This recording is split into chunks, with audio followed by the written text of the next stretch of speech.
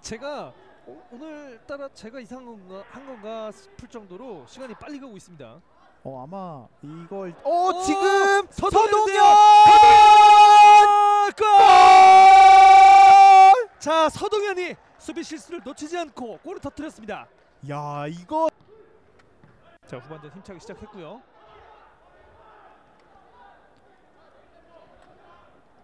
공따휘 어잘 좋아요 컵백 샷 골! 자 후반전 시작하자마자 추가골을 기록했습니다. 야 오늘 계속해서 좋은 모습 보여줬던 선수들이 네 결국은 골을 만 몸을 날리면서 헤딩으로 걷어냈고요. 다시 박스 투입 어 좋아요 아, 잘 줬어요. 한상훈 자 지금은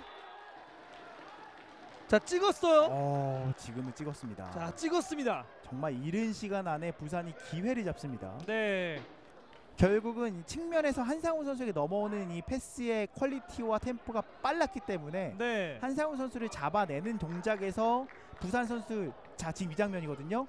이 태클하는 동작에서 자 볼과 좀 상관없이 한상훈 선수를 걸었다는 거예요. 지금 송경원 선수의 동작이 자 그리고 일단은 한상훈 선수가 먼저 공을 터치를 하는 한상훈 그리고 김태홍의 대결 슈팅 아. 들어갑니다. 자 빠르게 추격골을 가져가는 부산교통공사고요. 아, 한상훈이 득점을 기록합니다. 한상훈 선수가 잔발을 치는 그 찰나의 순간이 네. 거의 시간으로 따지면 한 5초에서 10초도 안기 파포스트도 가능하지만 니어도 가능하거든요. 그렇죠. 자 어떤 선수가 처리할지 김민준과 손경환이 있습니다.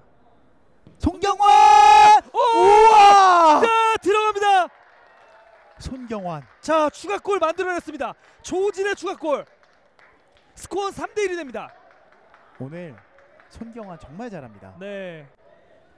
자 여기서 또 골대에 맞았어요.